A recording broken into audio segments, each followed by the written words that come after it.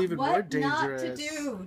Don't clean your book off with a knife toward yourself. Put the book in a press. No, the press is occupied. Ah, Get the uh, how many presses do we have here? like five. Yeah, get the other press. The big one's occupied. Wait, wait, do it do it the way you were doing it a second ago. I've got to see this.